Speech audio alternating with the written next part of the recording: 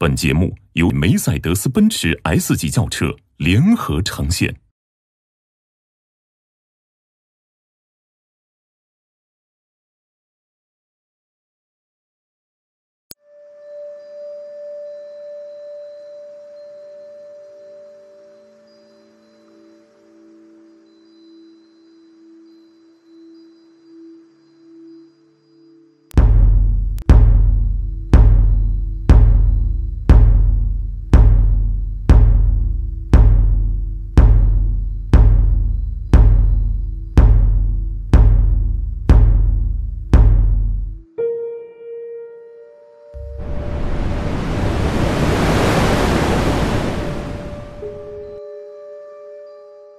中国历史的第一个十字路口啊！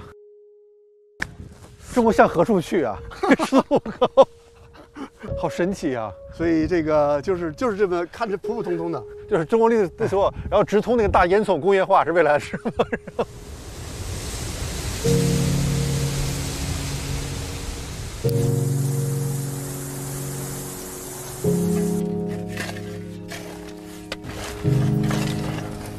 您您您知道下面埋的是什么吗？不知道，不知道。嗯，你们听说过二里头人吗？就过去过去三千七百年前那些人。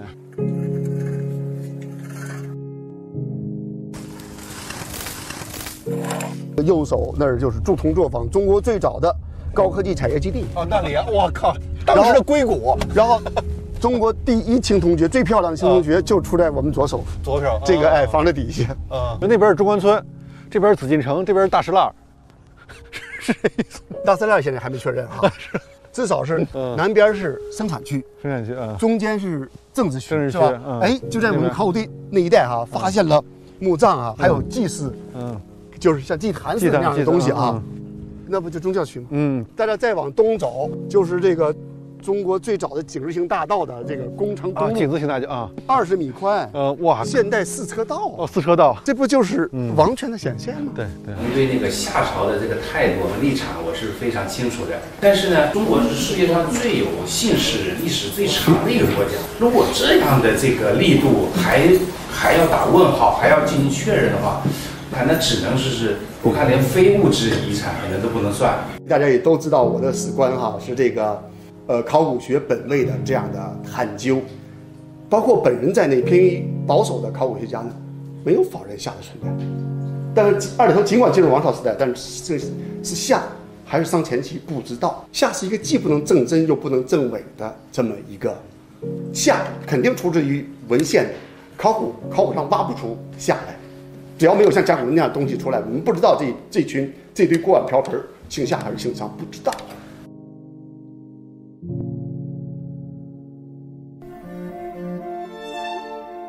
这是紫禁城，这是长安街这种比喻，出古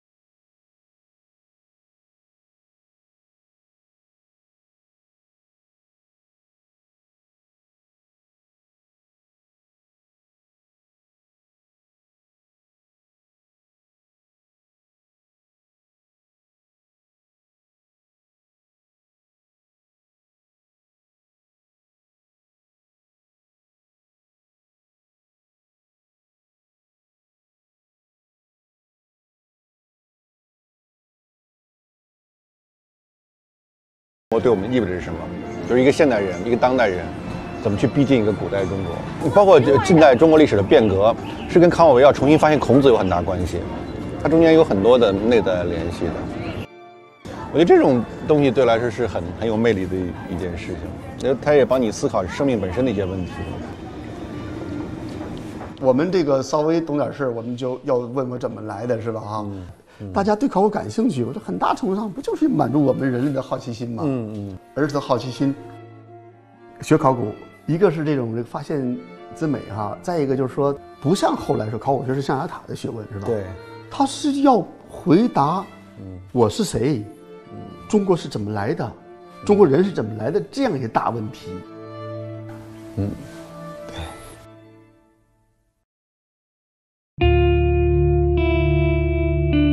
我是个不合时宜的作家，着迷世界的复杂性与个体之力量。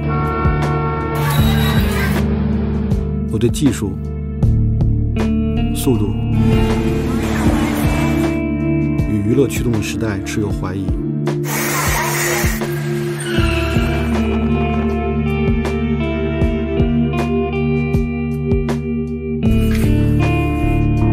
像个笨拙的发问者，好奇他人的观念与经验。我不喜欢模糊的立场，却也怀疑过分确定的答案。我期待自己是个游荡者，不断拓展知识与情感的边界。我也好奇，在时代浪潮之中，那些崭新的创造力、想象力正在被孕育。我会带着我的偏见与期待再次出发。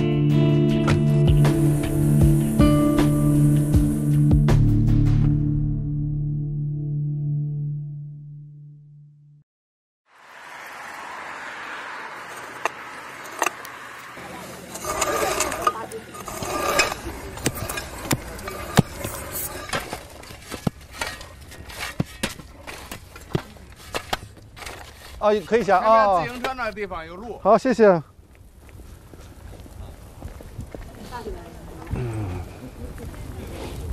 这可以走吗？可以走吗？嗯，好，谢谢。嗯。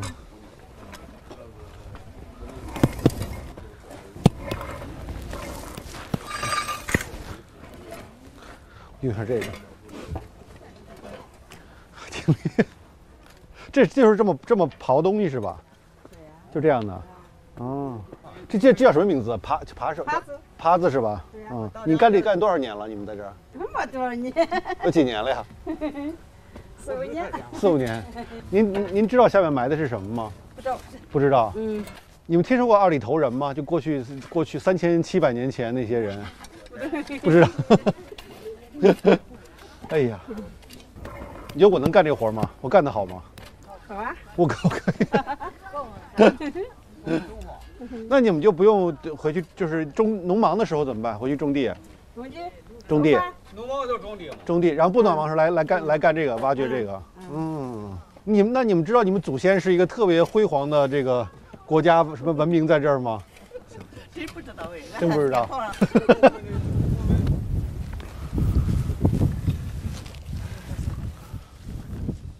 有没有一个清晰的夏的存在，真的那么重要吗？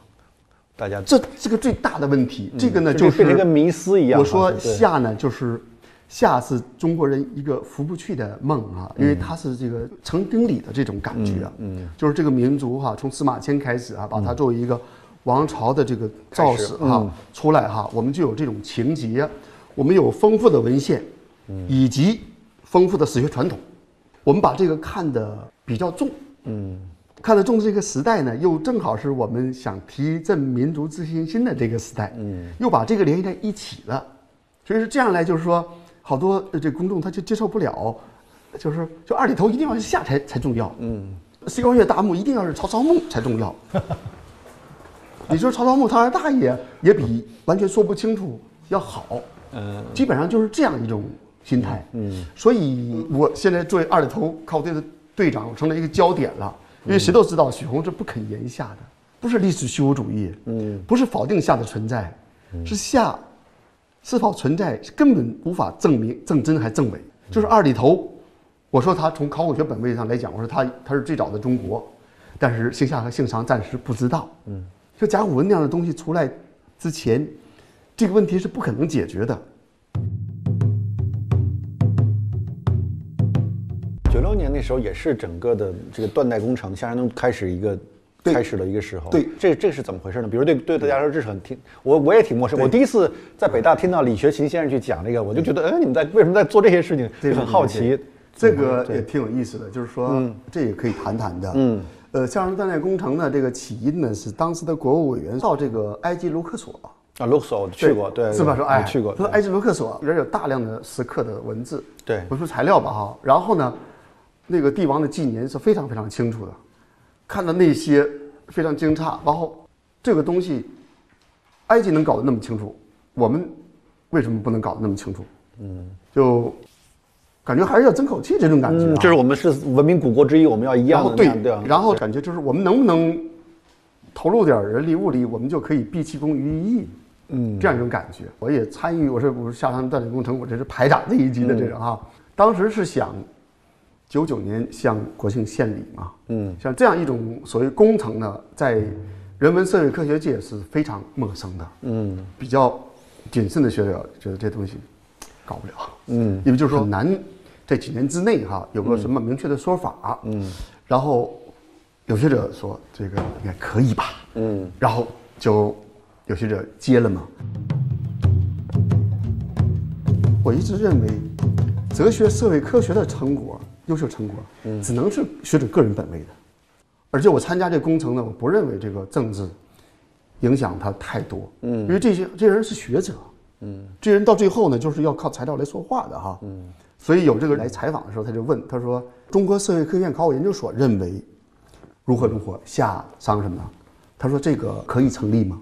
我说：“不成立。”现在我们说，夏商周断代工程一个基点是武王伐纣，嗯，周武王伐商纣王，基点我们说应该是唯一的和准确的，但这个基点就这个基点，总共是有四十四种说法，前后相差一百一十二年，嗯，基点就开始这样了，然后对夏和商的这个纪年，从四百多年到六百多年，各家还有好多说法，而这个当代学者又采纳了不同的说法，嗯，那么到了夏这个地方啊、摇摆忽悠二百年是完全可以理解的。中国社会科学院考古研究所的谁这么认为的？对不对？每个人都是每个人的思想，怎么可能是就是说，怎么可能是一帮人有完全相近的、相同的意思呢？嗯，说不死的情况下，愣要说死的话，那就那就可不一说嘛。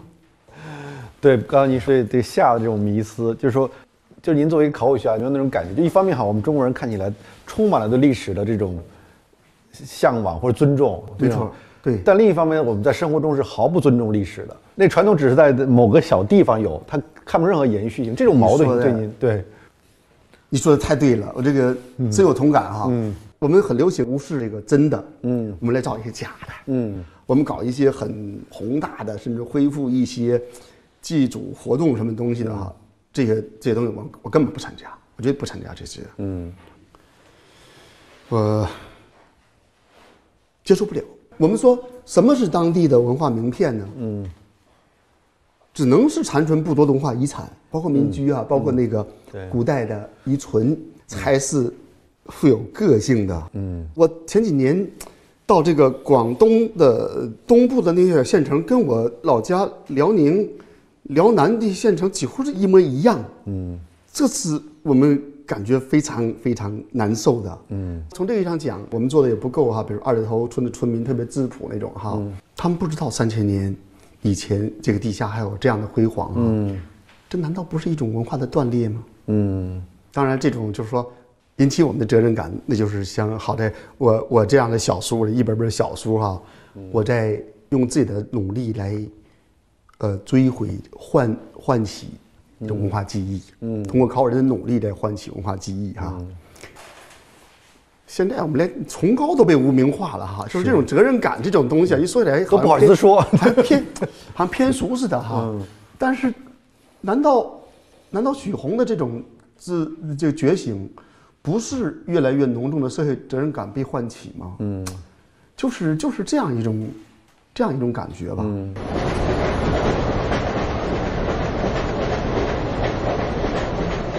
都觉得这、啊啊都觉得现在这考古是最性感的职业，都来都来，哎，这词儿好，是吧？性感，那考古很性感的。这词儿好。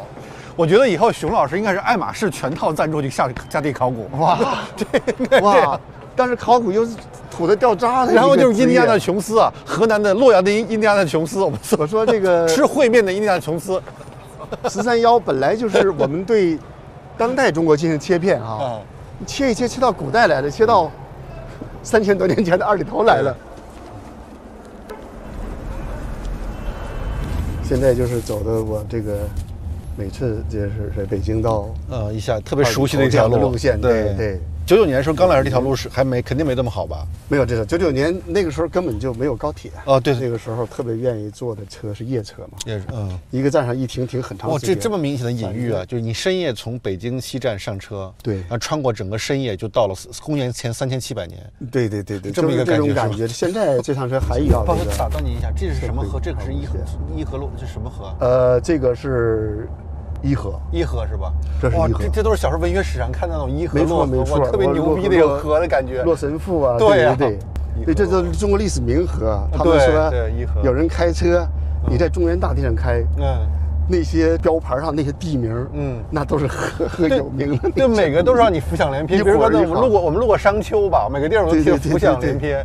没啊，安阳安阳，对对对对对，哦，现在已经进入了二里头，这都是封起来的工程的中国最早的紫禁城啊我们开始进去是这个是吗呃，封起来这个。哇靠，封起来这个哈啊，就这些东西，荒草栖息这个哈，三个哇它继续在挖是吗哎，对对对，啊这就是我们的正儿八经的发掘现场。我靠，太然后这个原来是这样的一种方式，哎呦哦太牛了！我看真第一次吗对对，我我没没现场看，我看过您那个那个那个影像哎，哎他们放弃了跳广场舞的时间来帮做挖掘，你说这什么精神？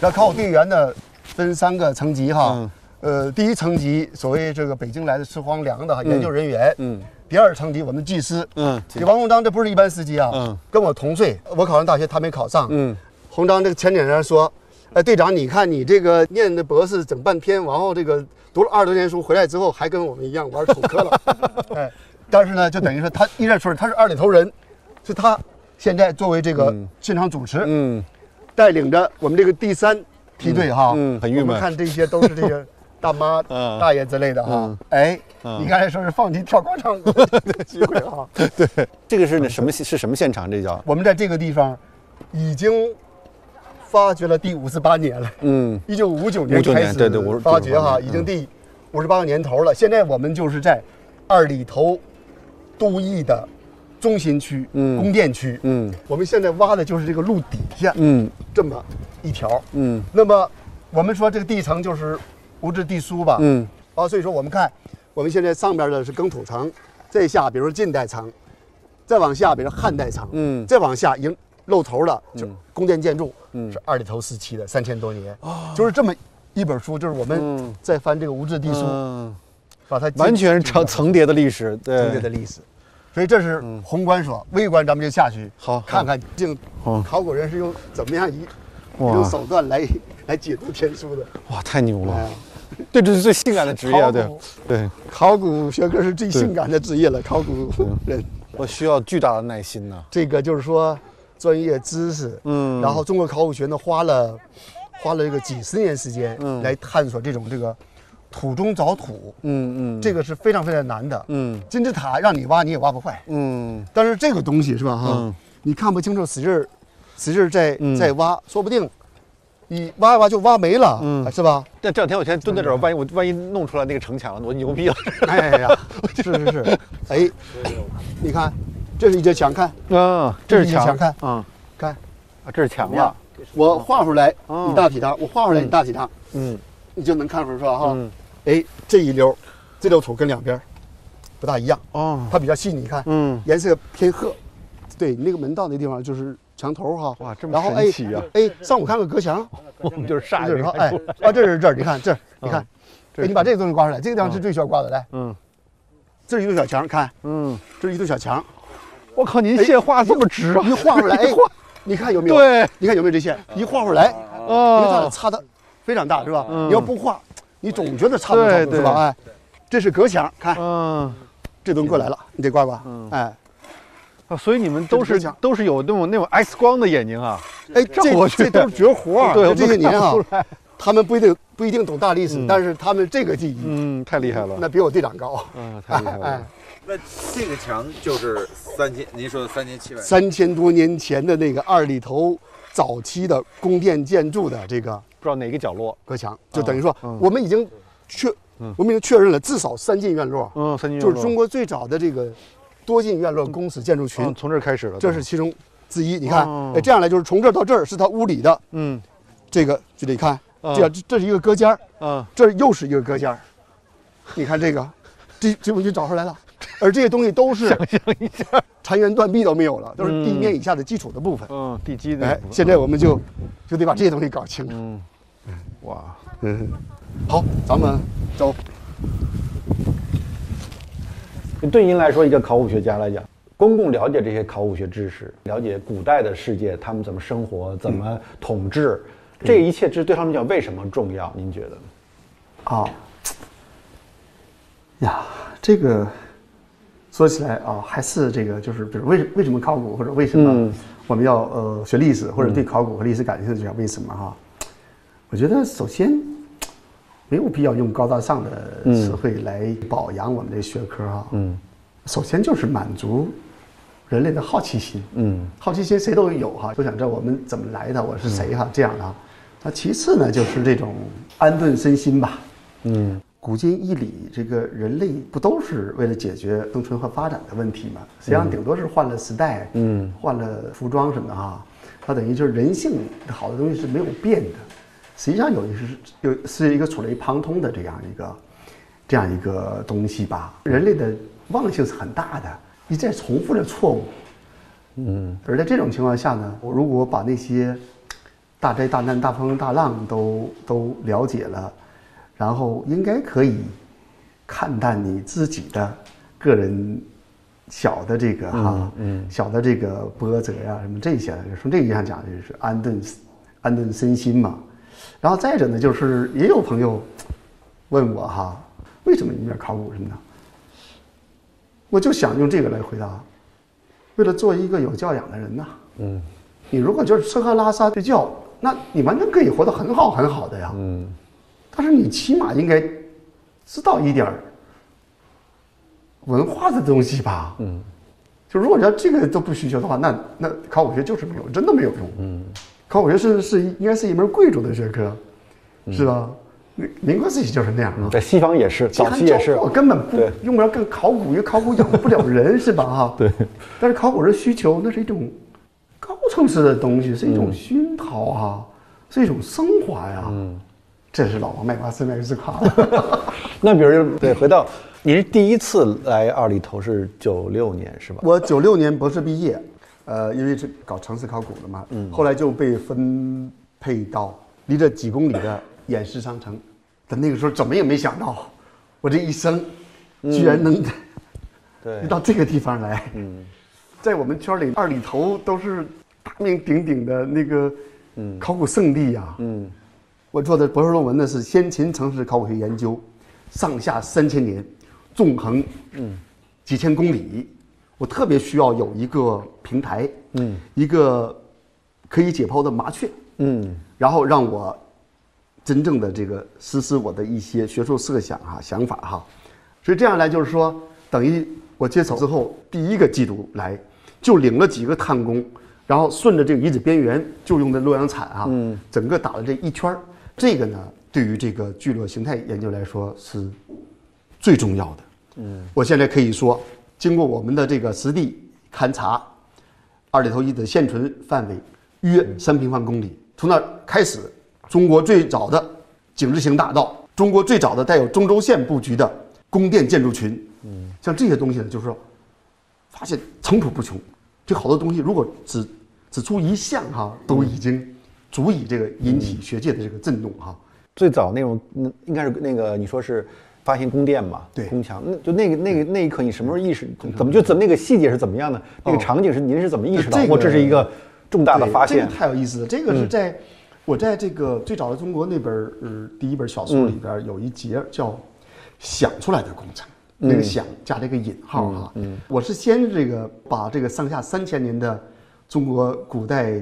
嗯，呃，城址哈，一直到这个后来这个城市那个发展捋了一遍，提出了这个大都无城的这种提法哈，就是庞大的都邑没有外国城，但是内城或者叫宫城，这是必须有的，因为王室禁地不应该是开放的。嗯，紫禁城你不能随随便便你平民都跑进去溜达一圈，对不对？嗯，它一定有防御，嗯，或者是区隔这种设施，这样一个信念，导致我就是顺藤摸瓜嘛。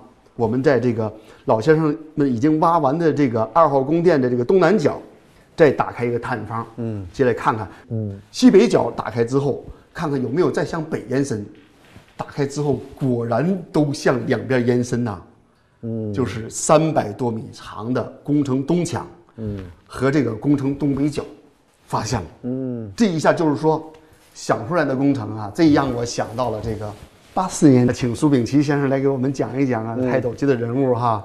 苏先生半闭着眼睛说啊，考古这个活儿啊，就是你想到什么东西啊，你才能挖到什么。我当时想，这不是唯心主义吗？后来随着阅历的增长，你痛感吧，嗯，这句话的哲学意味，嗯，太深刻了。开玩笑说是这个文学是吧？嗯，有一份材料说十分话，历史学有一份材料你说五分话吧，考古学有一份材料说一分话。嗯，当然现在看来，考古学者必须有想象力，嗯，否则的话你就是一个无谓的嗯学者是吧？嗯，你什么时候要清晰的感觉到这一点？呀，我觉得还是很晚很晚，是吧？我们的前辈，嗯，我们的就是资深学者哈，这个甚至权威哈，包括现在这个呃老先生还在谆谆教诲我们哈，考古学是实证的科学啊。但是现在，我的博客里边儿、微博里边哈，都有点儿冒天还是自大不为了哈。考古学是一门解释的学问呐、嗯，考古学更多的是推论和假说呀，嗯，更多的是验证不了的。我们能证明什么？二里头是夏还是商？嗯，在没有像甲骨文那样的当时的文书材料出来之前，嗯，我们能实证吗？这些锅碗瓢盆儿哪些属于夏，属于商啊？像这些东西，都是解释层面的，嗯，都是属于推论和假说层面的。但想象力应该是必须的吧？像我们手底下挖那个房子，你如果没有房子的概念，它就是一个坑一个洞，是吧？哈、然后你没有那概念，这个刮两下哈，看不清楚再刮就没了。嗯就是你一定得，你得有一定的知识储备，你带着这些问题，然后你才能哈，才能这个这个有所发现呢。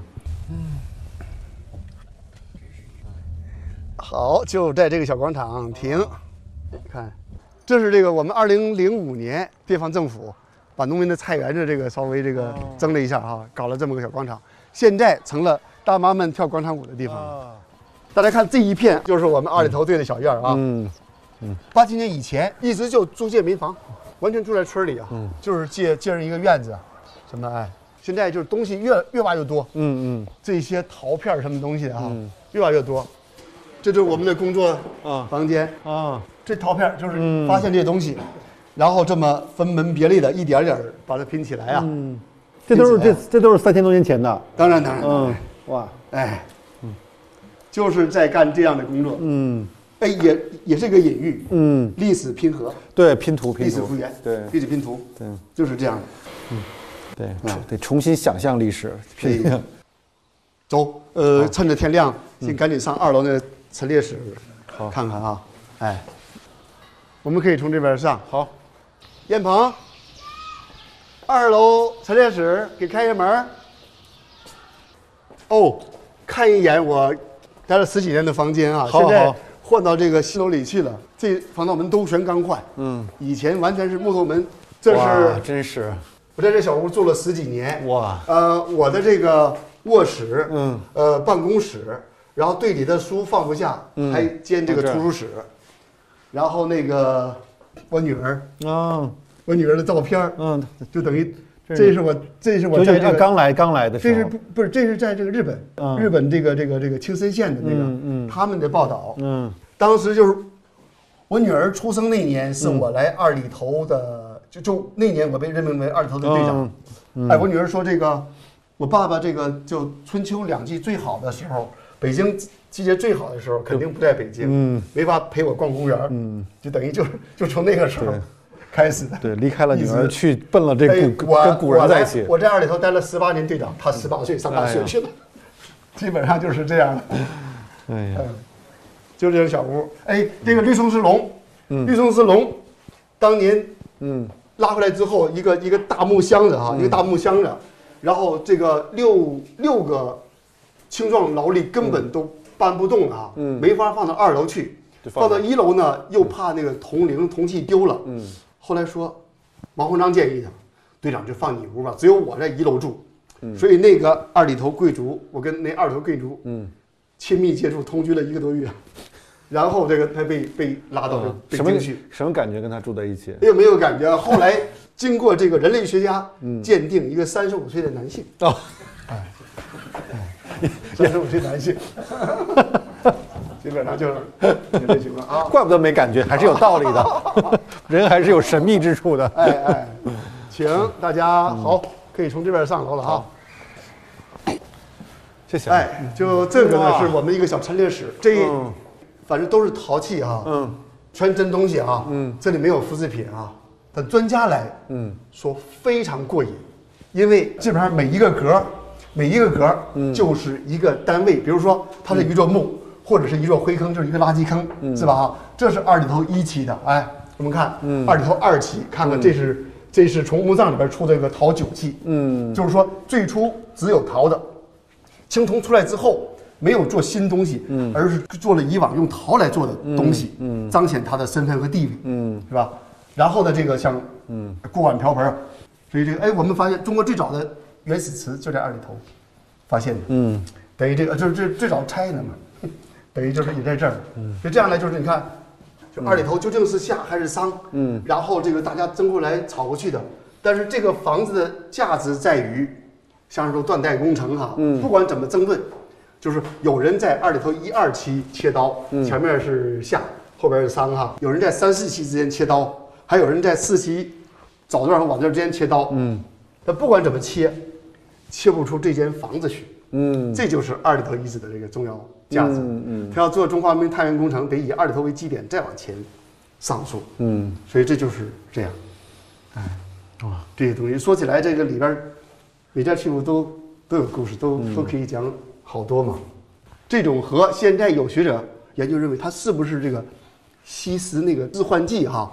这盖儿一封哈，然后等于就是吸食那种东西。东方的是以酒为致幻剂，嗯。西方是大麻哈，但是很早我们就跟西方就有关系了。嗯，所以一切一切都有待于。你看这种是造型是特别漂亮这个封口盒这地方应该有个盖儿哈，这是这个这是个管状流哈，嗯。那这里边三个这叫空竹嘛哈，嗯。然后呢这个特别便于呃受热传导，嗯。就是火哈，这个稍微这个加热对对对对。哎，甚至这么这么这么让一看还像一个动物的造型什么的哈。嗯。那你要审美的话，你觉得这个东西，嗯。你觉得这个东西哈还很漂亮，对，对，然后还历史很悠久，嗯。但是呢，就是要是认为他之前买它的人不这么认为，嗯。所以他呢就是说有朋友来找我来哈，好多就是说就失望了，因为我说实话，嗯，就是我真的不懂，嗯。我只见过真的，没见过假的，呃，只知道历史价值，不知道市场价值。嗯潘家园大门冲哪？我不知道。你要不懂得当代工艺学，嗯你怎么敢研究这个东西呢？它就是这样的，嗯真是这样的。哎，然后说起来呢，哎，说是有意思，这种事儿，嗯特有意思啊。我当时那个女儿上幼儿园的时候，那老师，呃，这不都是让家长填表吗？嗯你家长一你你一看，家长考古学家哈，嗯哎，那天说，呀，那个那个，我有个朋友，能不能这个你到他家里去一趟哈？高档小区，人家说我这收藏的东西啊，你能给看看哈？然后呢，我说我真的不懂哈。人家说，哎，你怎么骑自行车来的？嗯哎，我们想象你那你揣两件儿，你一套房子都有了哈，你怎么？比就是等于怎么还有这样人？完全对这东西没有概念哈。当然，现在在考古学界，这种这种就是这个监守自盗这样的事儿嗯非常非常少哈。那就是你心很静，你如果有那想法的话，你根本就干不了这个。嗯你没有想到说这东西我可以拿一件揣一件，就是这种概念。嗯，好，好，我们选这么个角，我说这个是最简陋的这个。我坐这边是吗？这个哈嗯，好。哦，那是水哈，我看我们家那个壶都没有了。这就是咱家哦，是吗？是吗？好好好。你坐在这儿，每天被这包围，什么感觉啊？我们先先闲聊聊。成仙儿了。会 会猜想吗？比如谁在使用这个，谁在使用那个，谁在用在什么情况下喝这个酒？而且你们想象力太丰富了。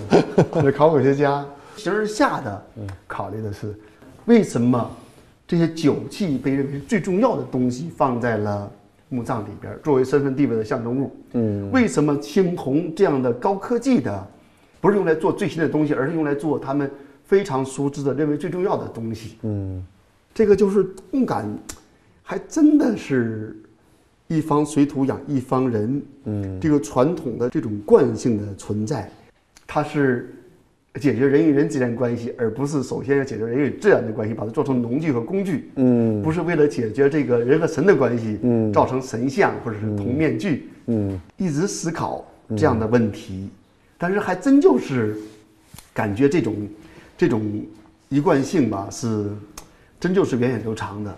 对，那我就好奇，比如说您发现，哎，这是您您您也喜欢这种比喻，这是紫禁城，这是长安街这种比喻。对对对对对。那您会意识到，就是说这么早的中中古代中国跟现在的中国之间有这么强的一个连续感，对一个一个映照感，对会觉得历史的延续性太强了，我们甚至逃不出古人的布局嘛？对，中国是从秦汉开始那种，几乎就是在，在这个这个这个社会结构上哈，对变化不是很大的哈。嗯，我说我们这个国家大的地形像一个大的盆地嘛，没有这个自然地理阻隔，两条大河这几条大河以及支流哈，嗯，这种四通八达哈，然后呢，周围呢相对封闭的就是海洋和这个嗯。高山这个荒漠、啊高原这个这个哎高原，导致这个人们这个文化底蕴、生产生活习惯的这个类同，嗯，包括后来的汉字，嗯。都是这种这个凝聚力，这样就是不可避免的这共同的这个思维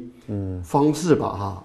当时那个为什么从能从战国走走到这个秦汉哈，嗯，这个大家都是一些小国，嗯，哦，你是上游的，我是下游的，哦，你把那个坝一拦，我没有水了啊，我这边这个欠收了，没粮食吃了，我跟你借，你不借啊，嗯。但是你那地方要是我的，这事儿就好办了，嗯。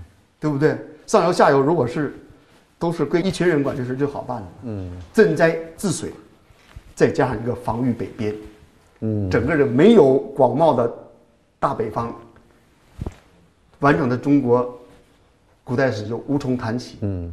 整个一部中国古代史几乎可以说是一部胡化的历史，嗯，一波一波的这个有目啊，从清从朝，嗯。代表着最先进的科技啊，然后一波一波的来哈，长城就建在这个四百毫米等雨线上，嗯是吧？然后这个气温稍降一点，这个恶化，它要往南找粮吃，是吧？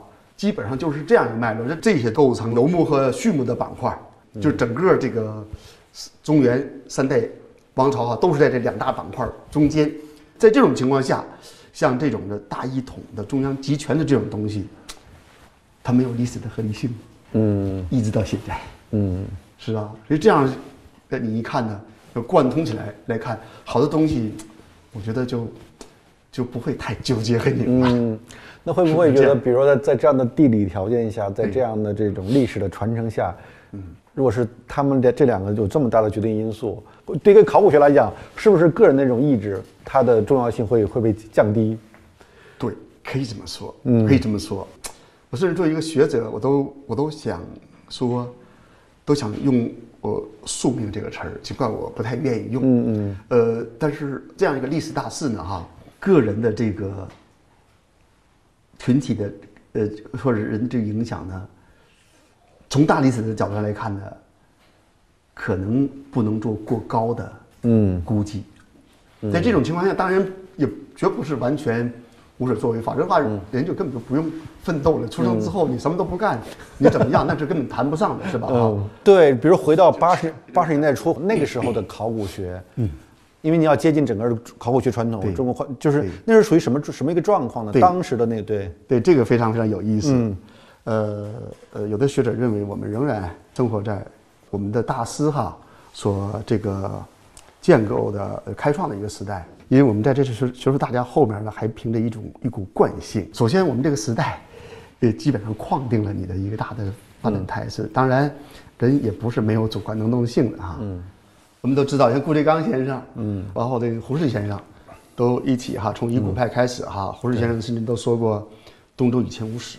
嗯，等于就是这个古史辨对于这个中国典籍的梳理呢，实际上就是说，尽管是有以古过甚之嫌，但是呢，它扫清了考古学诞生的障碍，为考古学的这个诞生直接提提供了一个非常必要的这个呃基础吧。嗯，这样才有傅斯年先生说，我们就是一群不读书的人。嗯，我们是上穷碧落下黄泉，动动手手动脚脚找东东西，是是，对。这这样一种情况下呢，就是等于那个时候，嗯，不像后来说考古学是象牙塔的学问，是吧？对，他是要回答，嗯，我是谁，嗯，中国是怎么来的，中国人是怎么来的？这样一些大问题，嗯，所以从一开始，安特生的发关于仰韶的发现啊，山顶洞的哦和北京猿人的发现啊，尤其是殷墟，嗯，这种这种发掘哈，那就是要解决这样的问题的，但是。后来就是兵荒马乱了嘛，嗯，随着这个日本侵略就中断了啊，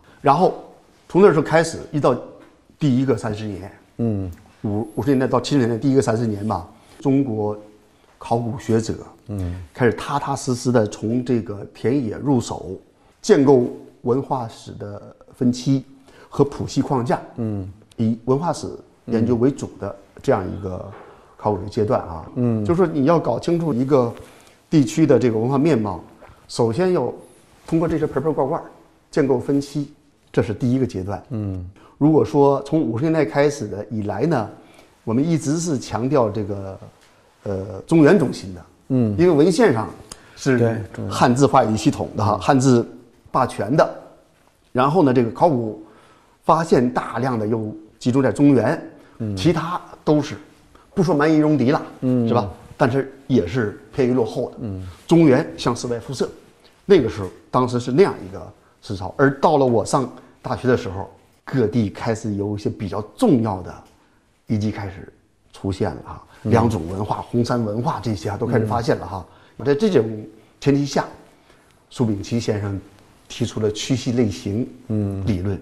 他把这个整个广袤的东亚东亚大陆呢分成这个六个大的区系啊，各自有其发展演变的脉络啊，然后就用了一个最，呃，通俗易懂的呃这个形容词叫满天星斗，嗯，然后呢，这个给当时的这个中国考古学界以震撼吧，转变了我们对中原中心的这样一种认识哈，就那个时候，各地呢都开始这个建立区系类型，嗯，现在看来那还属于大讲属于上一个。阶段的工作，那由于这个工作的长足进展，到了九十年代了，等于说，我们觉得中国考古学已经开始逐渐逐渐从文化史的以文化史为主的考古学转向社会考古，然后这就这就说到，就是说我是怎么这个嗯，逐渐从一个极极保守的哈，严所以严谨到保守的这种考古学者呢，逐渐逐渐这个就是说做一些公众考古的这样的事儿，我觉得这个跟社会风潮和。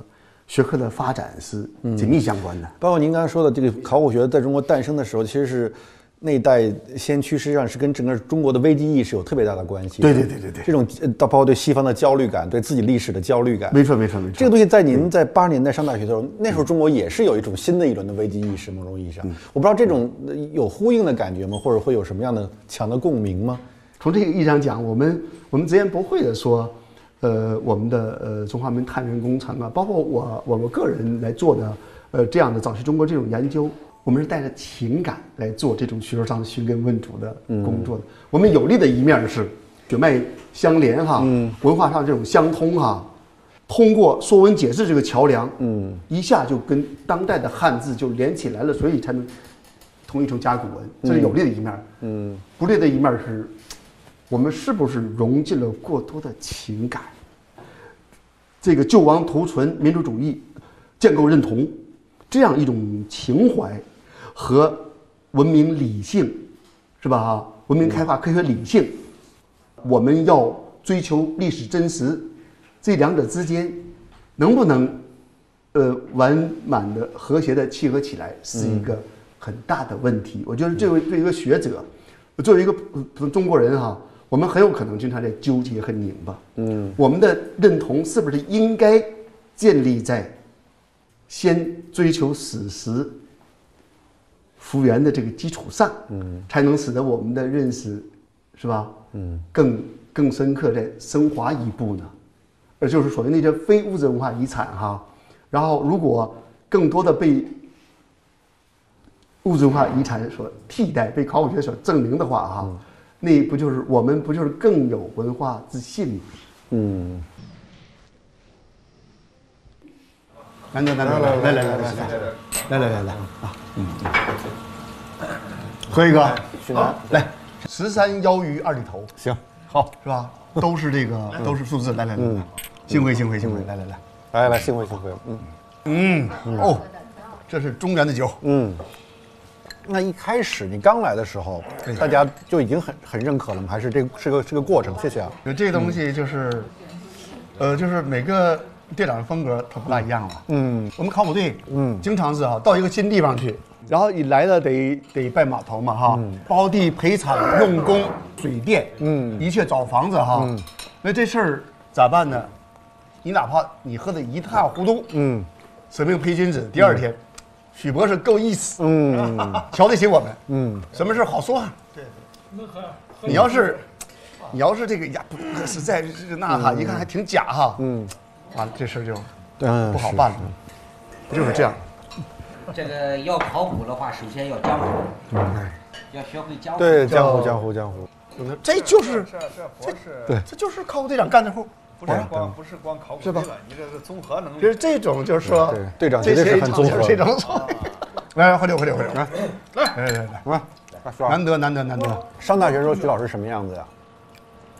谈不上活跃，许红也是挺挺逗的。他原原来一直是说他一个弯都不拐，就是做纯正的考古学。嗯。呃，然后就是连个这个，就是最最简单的那种。科普性的文章，他都他都不肯写。嗯啊，然后不知道为什么，从零九年前后，嗯，突然有了这种这种自觉。嗯，我也不知道是什么什么促使他文化自觉啊。嗯，那您觉得怎么这怎么发生？您觉得怎么发生的？大嫂都不知道。哦，这挺有意思。你先说，你先说你的印象，然后一会儿我给你。他比较纯，就是简单。我们家就是什么事儿都不管，从从买一个鸡蛋到房子，他从来不管。所以他他就只管在他的那个里边，他就是很享受。他甚至上厕所的时候，他要读一篇论文，考古论文。没有，那书呆了。我是热爱生活的人。人家都是这个这个这个，呃，嫁鸡随鸡，我们家是嫁鸡养鸡。我就这么多年就嫁鸡养鸡。这么高级这个说话，这个得记住了，这太重要，这话说的。这去忽悠人太有用有用了。说这个哦，当时可爱了，当时肯定缺钱嘛。嗯，一个拿不回家里钱的人，还叫成功的男人吗？这不是，但是但是我媳妇儿，但是给你了吉利啊。但是本人就就我还拿不来钱，我还挺耿耿的，我还有文化自信，就这一点是他没有办法的，这一点他没有办法的。哎哎，就是他对于这种东西的执着，嗯，确实是挺挺那个。跟我不一样的，就是他坐得住。这个就是以前不一样。一开始的时候，我第一个季度来，给我六万块钱，我没花完。嗯，你给我把二里头这个边境这个搞清楚哈。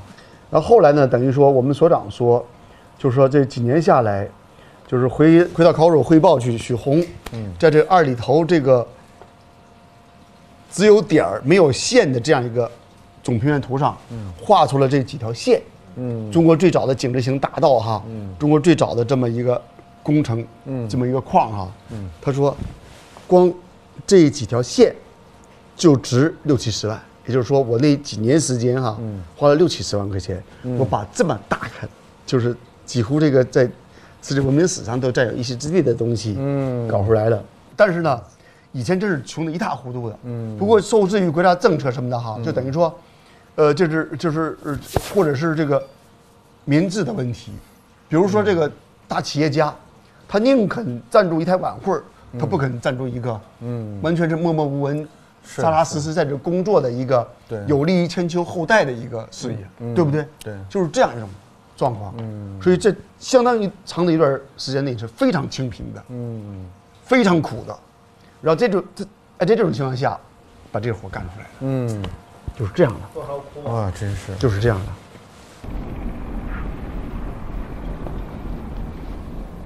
欢迎欢迎欢迎！跟您进多好。你这一天能来多少个客人呢？到店里啊，啊，有的时候一天就一两个，嗯 所以我这叫惨淡经营。嗯。那当时徐老师对您的态度是什么？这个想法？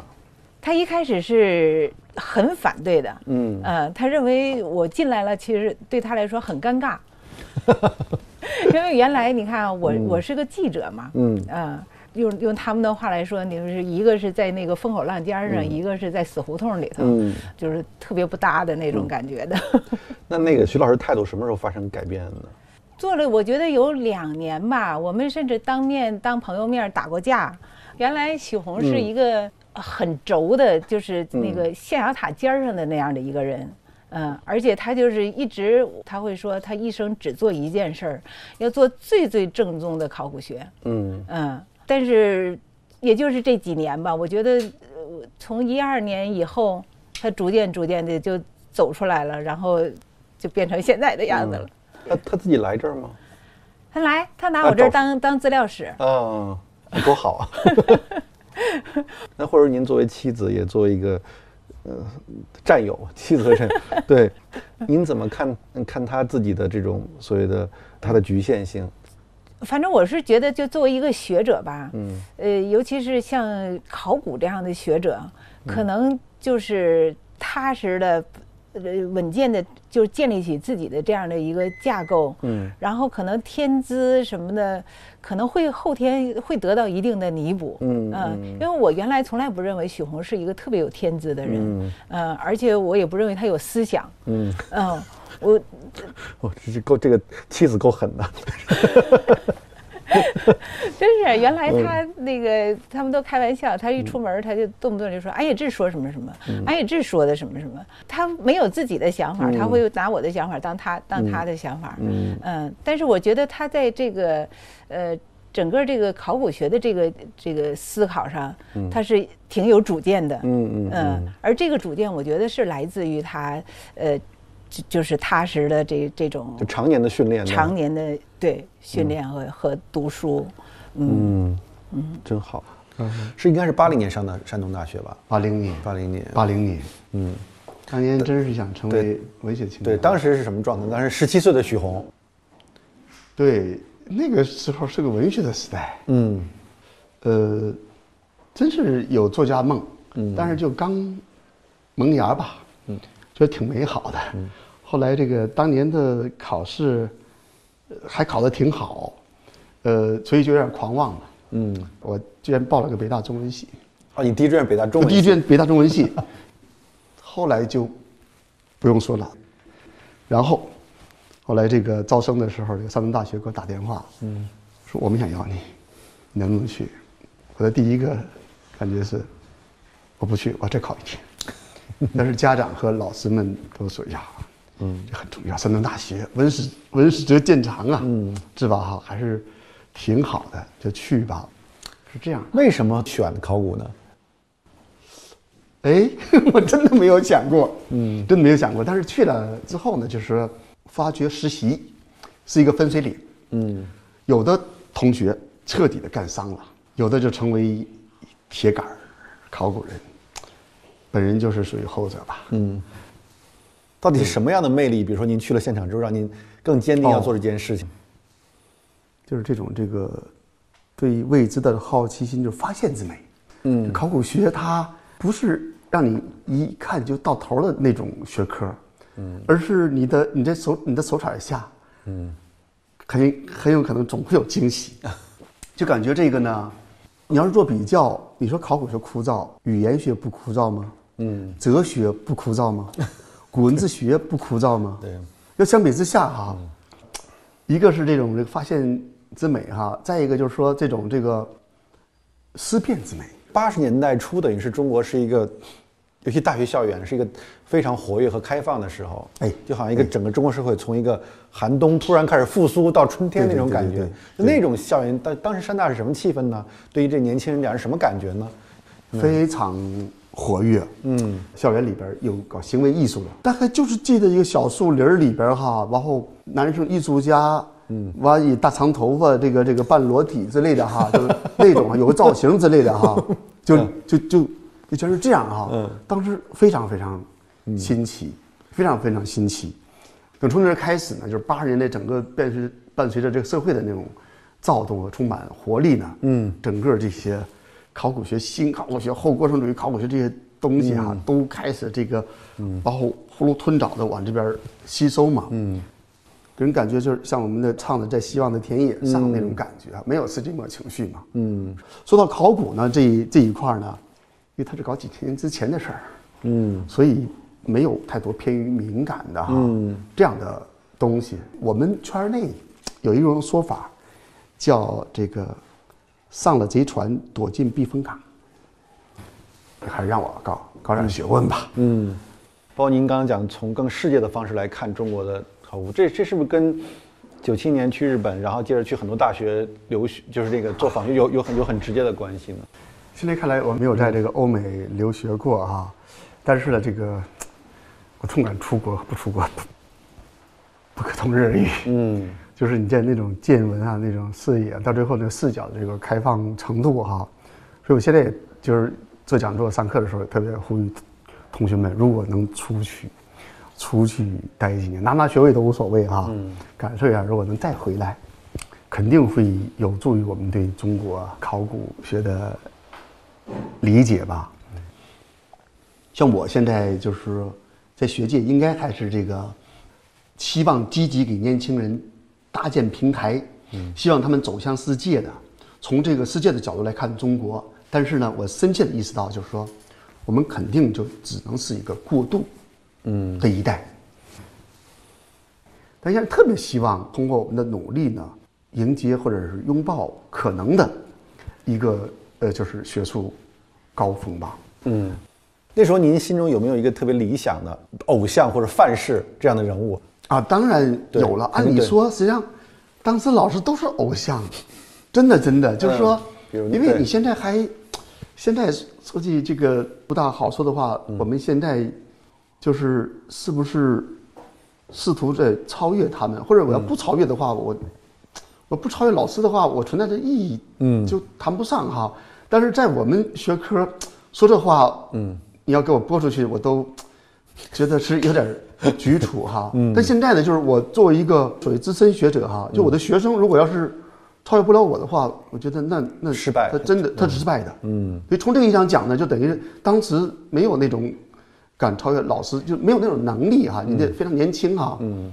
那现在我们我看他们，他们是我非常尊重的前辈啊。嗯。那他们也是学术史上重要的历史人物。所以，我今后我的学生，嗯，后生们也会这么来看我。嗯。我们的有有学者说的，嗯，很好哈。每代学者研究都是后人的靶子，对，都是你被当做后人靶子才来写的哈。嗯。但是呢，就是说这恰恰是彰显了。这代学者的价值和意义呀，是吧？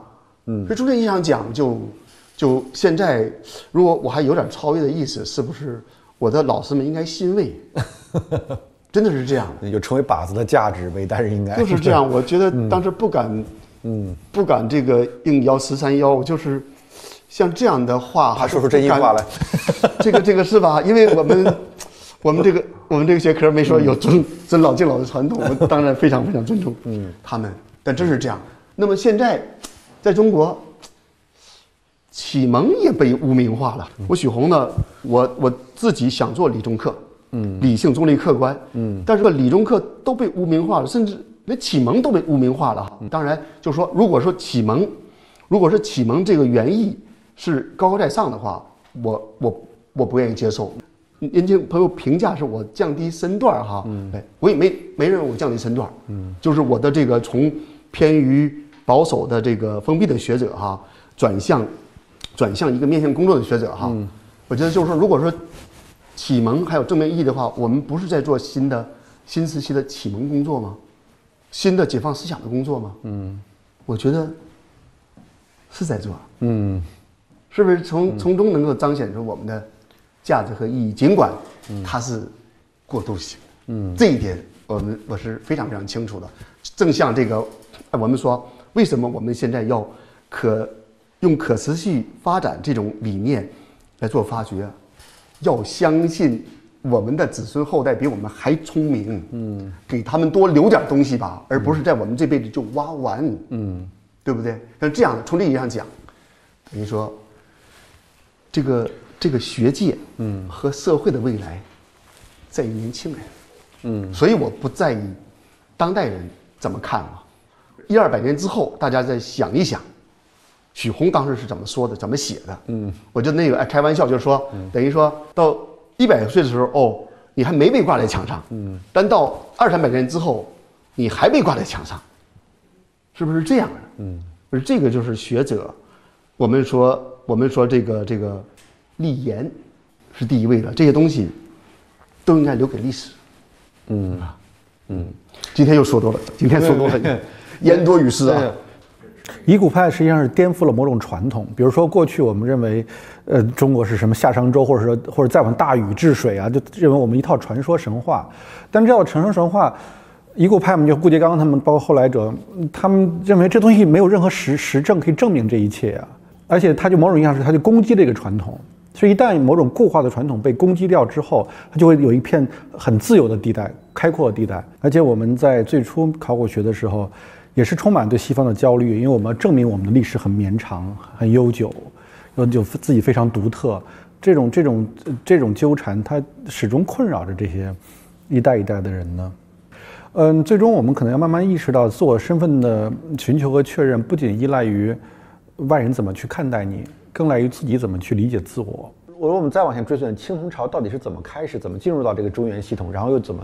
眼睛扩散到更多地方，这个过程是怎么发生的？这个也是，嗯，整个国际学界一直在探讨的一个问题。考古学的证据告诉你，全球化在五千年已经有了，那就是青铜朝，而它深刻的改变了东亚大陆的这个历史进程。到这儿一来，跟我们几千年磨制陶器这个传统，嗯，相碰撞。屹立于全球青铜文明之林的这个，别具一格的中国青铜文明，诞生了。二里头文化影响已经到那儿了，嗯，而后来呢，基本上就是向外扩展，后来扩成了这个，后来扩到扩到四大边疆，嗯嗯，认同上，我们说，你不能说中国是汉人的中国，对不对？让整个这个中华民族的概念，嗯，在中华民国期间，嗯，开始正式形成了。所以这个中国太复杂了，嗯，所以我这个就是说写了两本以中国，呃为名的书之后，我我决定东亚青铜朝不再用中国了，因为中国这个历史的文化的民族的地理的，嗯，是一个令我们焦虑的这样一个概念，对，而且东亚青铜朝。混杂在一起，完全对。以前我们说，那日本是非原生时代，非原生文明，那都是这个大陆哈。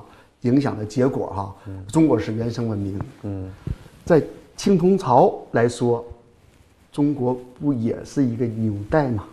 嗯，不也是一个中间的环节吗？嗯，如果从全球视野来看呢？嗯，但是这些问题，又有小朋友也接受不了了哈。但是我许宏是学者，嗯，我用证据来说话，嗯，是吧？而且我说这些都是可能性，是吧？都有待于。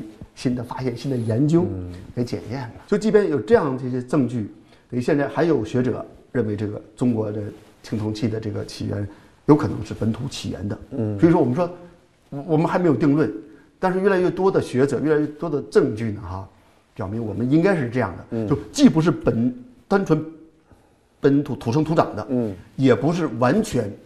外来的，嗯，而是外来的文化因素的刺激和影响，嗯，以及本土的这个传统的融合，嗯，山寨也好啊，创新也好啊，一批新的东西出来了，一个量变，一个质变，嗯，从量变到质变哈，嗯，基本上就是这样一个一个脉络，嗯，我个人是倾向于，就是应该这么来，嗯，这么来解释的。所以有趣就是，比如我们想象一下，比如对二里头这么一个王国吧，对，这么一个东西。有一个突然那个高科技从外面进来，对对对对，然后高科技进来，它又正好的等于是用既有的技术把它等于本土化了，对对对，它形成一个非常兴盛的一个王国，对，四方都来移民又多增加了，就就这就是一种对。对，说的太对了，稍微订正点哈，嗯，青铜冶铸技术嗯。出来之前，你来之前嗯。我们看到的是满天星斗的这样一种状况，嗯，就是各式是不是王国，我们还不大清楚啊。我们一般经常叫邦国啊，嗯，就是说，像张光直先生所所推测的哈，嗯，青铜一来被作为它关系到国家命脉的重器，嗯，成为大的这种王国嗯。向外扩张的一种动力，这样一来就是。寻找制作青铜器的矿料东西哈，那这样一来，就是超越自然地理单元的这种广域王权国家开始出来嗯，二里头、二里岗、郑州商城这样的啊，殷墟，就等于说从这意义上讲，可不可以说青铜催生了中国？嗯，甚至甚至远程输入品，导致一个广域王权。国家嗯出来了，甚至可以，甚至可以这个再想一想，像二里头这样在东亚大陆从来没有过的，呃，驾驭、管理大范围人群的这样一种政治架构，究竟是我们独立自主、自力更生、无中生有的发明出来的，还是受到了已经存在的？其他区域的文明的影响，因为这个人哎，人类这个东西哈，你比如说你要你要造个什么东西哈，嗯，你肯定不能说计算机是你自己独立发明的，就是你各种理念什么东西哈，嗯，好多好多，我们说自主研发的东西，嗯，都是像钱学森先生那样的海归，早期海归，嗯，过来的哈，那是不是一种文化传播？嗯，文明传播，嗯，等于到这儿了，我们肯定又更新换代哈，但是一切一切就是它是有一个。圆的吧，哈，嗯，而这个广袤的这个，呃，欧亚大陆是根本没有不可逾越的自然障碍的。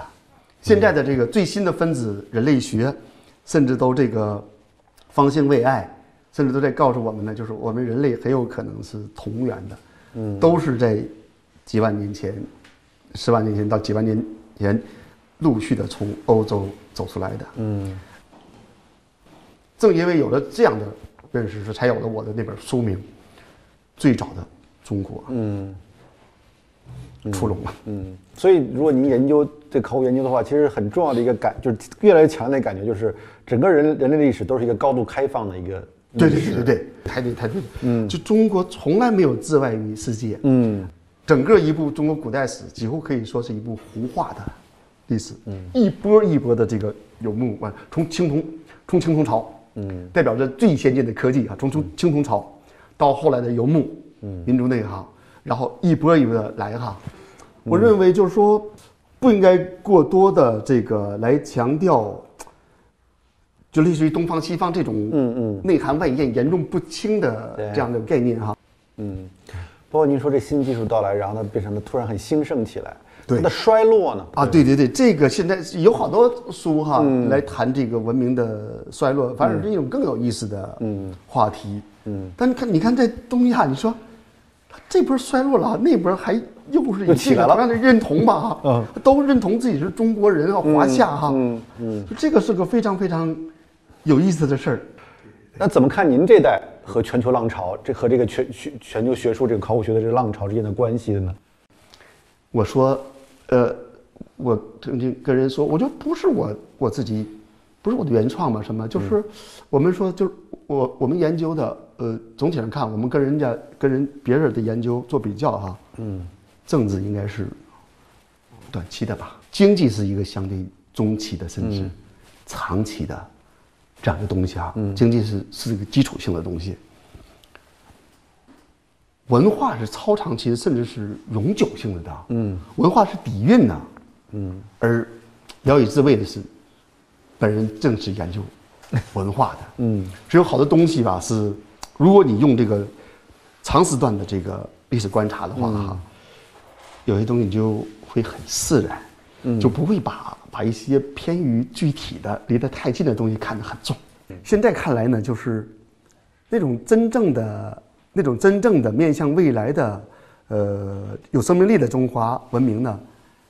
肯定不是泥古的，嗯，也绝不应该是全盘西化的，嗯，而是呢这两者呢有机的结合啊，到最后呢生发出一种另一个比较高层次的哈那样一个这个这个这个文化形态，嗯，而这种文化形态是什么样的，什么时候能来临，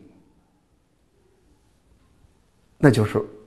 我们只能是期待了，嗯嗯，而且呢，希望通过我们的点滴的努力，嗯，然后一步一步的向那个方向去走，嗯，就够了，嗯，就够了，是，因为我们看不到，也许这个，但是我们给后人铺了搭桥哈，对，哎，迫近那个境界吧。